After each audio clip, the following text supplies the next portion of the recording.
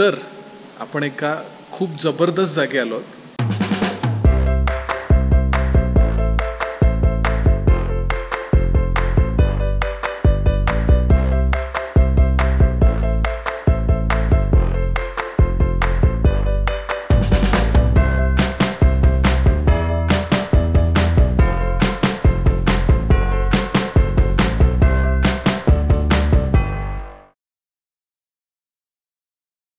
दालाच्या city टूरमध्ये फिरत फिरत आम्ही आलोत एका फ्लॉवर शोरूममध्ये.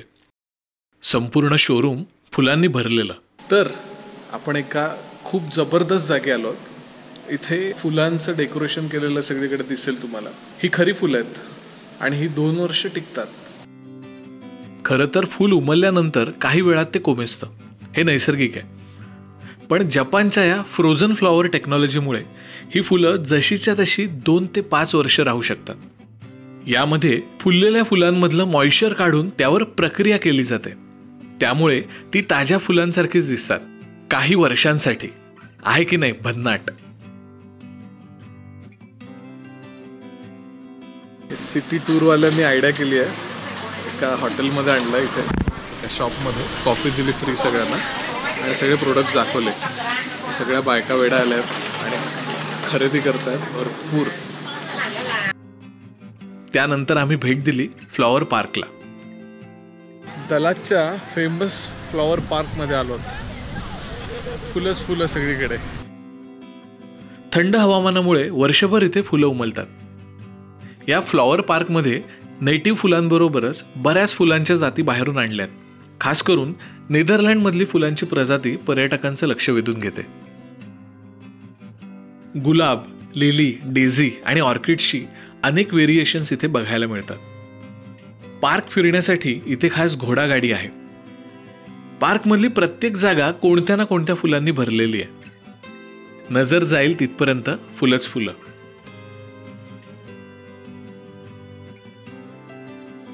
शहरापासून दूर अकरा हेक्टर पसरलेला फ्लॉवर पार्क मधला फेरफटका रिलॅक्स करून जातो.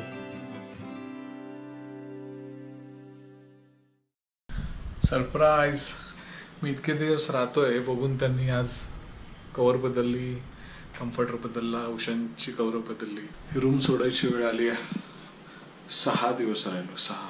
मस्त होता स्टे दलात मधला थंडगार वातावरण एकदम.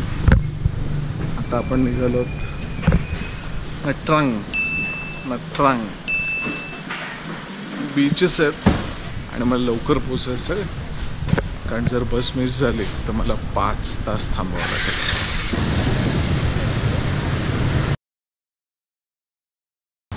शॉर्ट झाला आता. वेळ फिरावा माणसाने बॅग घेऊन. इथेच आहे मला काही जण उलट पाठवतायत इथे पाठवतायत तिथे पाठवतायत. शा. हा. ॲड्रेस घेऊन फिरतोय मी वन.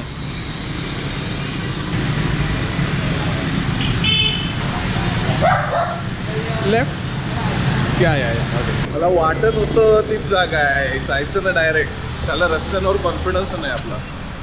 चला आता काय? चला. फायनली एकदाची बस सापडली. दालात ते न्यात्रांग साधारण दीडशे किलोमीटरचा प्रवास. पाम ट्रीज क्रिस्टल क्लिअर पाणी आणि मऊ सोनेरी वाळू असलेलं व्हिएतनाममधलं हे छोटंसं शहर न्यात्रांग. खूप क्राऊडेड आहे. भरपूर लोक आहेत. युरोपमध्ये झाल्यासारखं वाटतंय. युरोपियन्स एवढे येतात तिथे. थोडंसं फिरूया आणि रूमवर परत. बरेचसे टुरिस्ट इथे बीच लाईफ एन्जॉय करण्यासाठी येतात. सहा किलोमीटर समुद्रकिनारा असल्यामुळे स्कुबा डायव्हिंग आयलंड हॉपिंग सारख्या वेगवेगळ्या गोष्टी इथे करता येतात. शिवाय authentic Vietnamese food mud spa आणि नाईट लाईफसाठी न्यात्रांग ओळखलं जातं.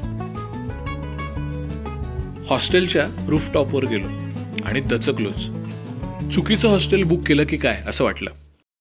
मग गंमत कळली. आज व्हिएतनाममध्ये विमेन्स डे होता.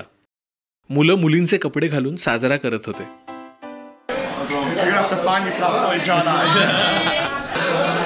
आज विमेन्स डे. तर इथे मुलं मुलींच्या कपड्यात धमाल करत होते. ह्या हॉस्टेलची आणखी एक खासियत. रोज संध्याकाळी एक तास अनलिमिटेड फ्री बिअर नुसता दंगा. जस्ट पार्टी संपलेली आहे.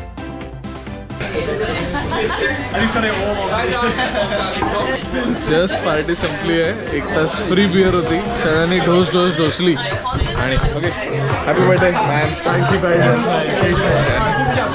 त्याचा बड्डे होता. केक कापला धमाल केली. ओके आपला बार धमाल. कुठची जागा बरं ही?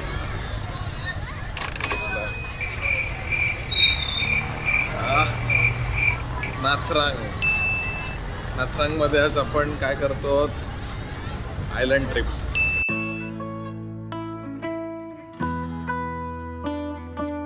दुसऱ्या दिवशी एक खास ट्रिप बुक केलेली.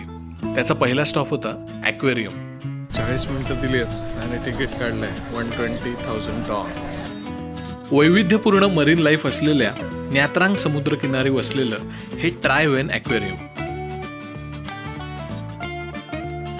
या अॅक्वेरियममुळे न्यात्रांच्या पर्यटनात बरीच भर पडली. पर्यटकांची वाढती गर्दी बघून गव्हर्नमेंटने भरपूर खर्च करून त्याला आणखी चांगलं रूप दिलं.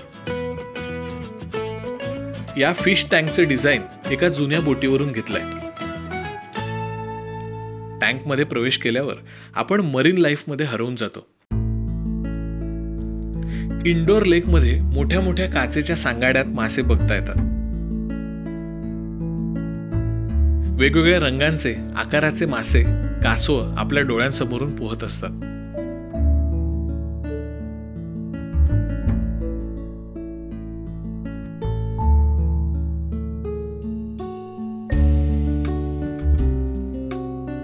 दगडासारखा जरा भयानक दिसणारा हा सर्वात विषारी मासा स्टोन फिश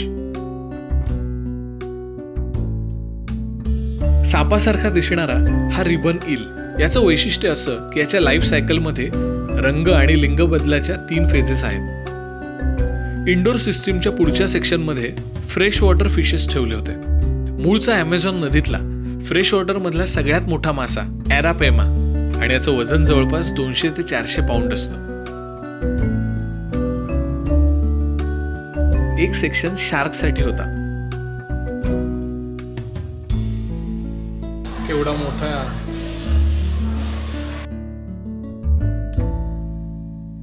या बोटीच्या डेकवरून न्यात्रांगचा समुद्राचा पॅनोरॉमिक व्ह्यू नहाळता येतो. ते टॉपला आलो अक्वेरियमच्या. व्ह्यू भारी आहे आसपासचा. ॲक्वेरियममध्ये प्रवेश केल्यावर आपण लायन फिशच्या प्रतिकृतीमधून आउटडोर लेककडे जातो. वाटेत खूप हिरवीगार झाड आहेत. आज गंमत अशी आहे की इथे सगळीकडे पैसे लागतात आणि माझ्याकडे कॅश कमी आहे. पुरली पाहिजे आज दिवस तरी. फिश लेकच्या भिंती कोरल रिफ्सपासून बनवल्यात. इथे मासेमारी कासवांना खायला घालण्यासारख्या ऍक्टिव्हिटी करता येतात. इथल्या मोठ्या कासवांचं वजन साधारण शंभर किलो आहे. ॲक्वेरियम मधलं पाण्याखालचं विश्व गुंतवून ठेवणार आहे. इथले मासे आणि कोरल्स बघून हे ॲक्वेरियम समुद्राची छोटी प्रतिकृती असल्यासारखं वाटतं. ॲक्वेरियम बघून आम्ही पुढे निघालो. इथे आजूबाजूला एकोणीस अनटच आयलंड आहेत आणि इथे केली जाणारी बॅकपॅकर्स मधली फेमस ऍक्टिव्हिटी म्हणजे स्कुबा डायव्हिंग स्नॉर्कलिंग आणि स्कूबा डायव्हिंग ओके आपण आलो आता आणि काय आता करायचं? न घाबरता.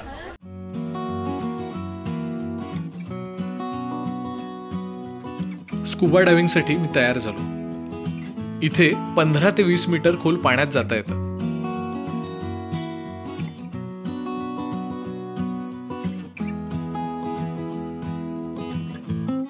समुद्राच्या तळाशी जाऊन त्या खडकांमधून पोहत आजूबाजूचं जग बघण्यात वेगळीच मजा होती.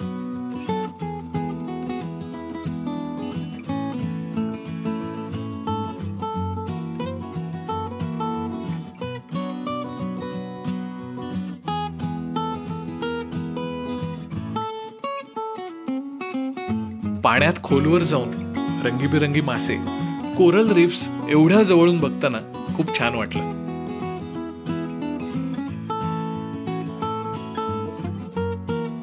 आपला डायव्हर खाली घेऊन गेला आणि जबरदस्त मजा आली. डायव्हिंग बऱ्याच ठिकाणी केलंय पण इथे खूप छान बघायला मिळालं पाहुण्याने दिलंय आपल्याला cake What do you rate it? Do you like it? तर आपल्याला इथे बोटीवरती यूट्यूबर्स भेटलेले आहेत. ऑस्ट्रेलिया यू एसमधनं आणि आपल्याच हॉटेलमध्ये आहेत ते. आधी मला त्यांचं चॅनल शोधायचं आहे बघायचं आहे. आणि मग उद्या गप्पा मारत त्यांच्याशी. भरपूर.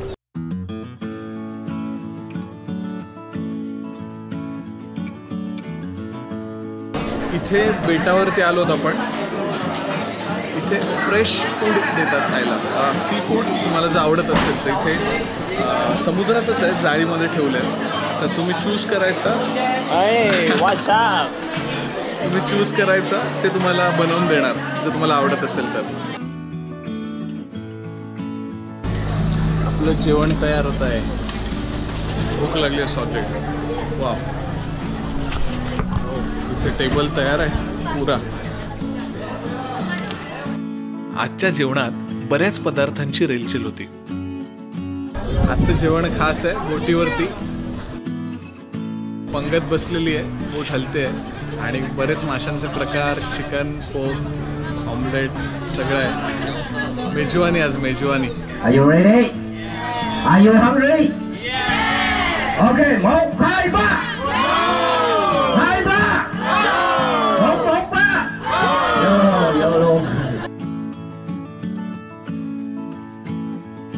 माझ्या बाजूला व्हिएतनाममधल्या मुली बसलेल्या.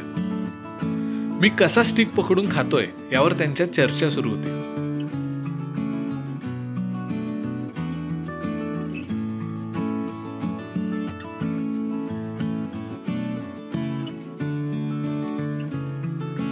मस्त जेवण झालंय आणि आता याचा सेटअप चाललाय.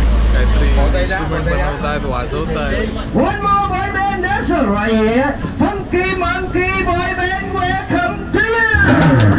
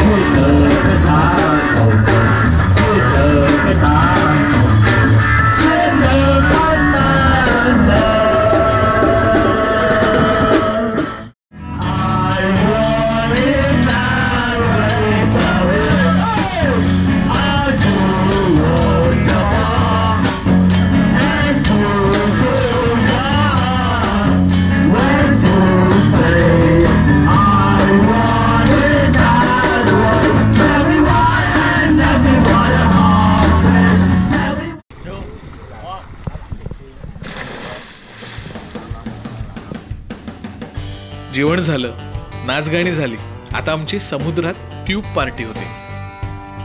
सगळ्यांना लाईफ जॅकेट दिले आणि पाण्यात बसायला ट्यूब दिल्या. सगळे मिळून सॉलिड धमाल करत होते.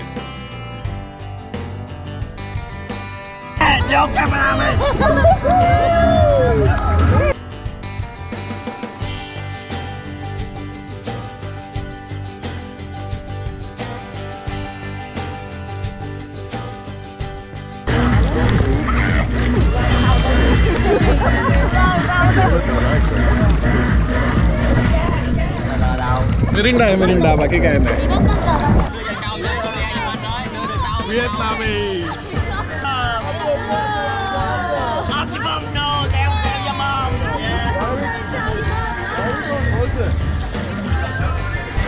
पाण्यात हॅपी आर येत आहे मला पण नाही आहे पण त्यांनी मला बघितलंय. हा जसं की मी वाचवणार आहे त्यांना. Number one. Yes Number one. Yes Where is it? 감사합니다. कम हबिदा 아, 감사합니다. कमसा हबिदा या. धन्यवाद Yeah, thank you. Thank you We met this guy, another YouTuber.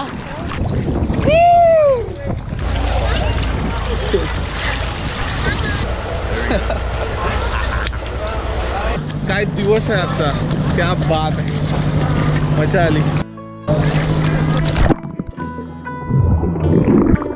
समुद्रामध्ये डोम वापरला. त्यात पाण्याच्या आतलं आणि बाहेरचं दोन्ही दिसतं. असे बरेच फोटो काढले. विक्टोरिया ऑस्ट्रेलियाची आपल्या चॅनल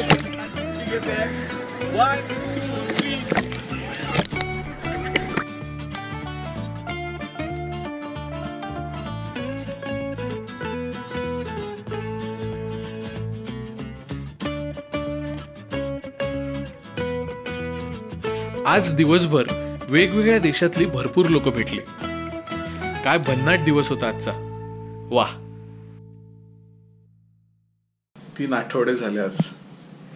मी नाथरांगमध्ये आहे. आज सोडतोय नाथरांग. आता रूम चेकआउट आहे बाराचं.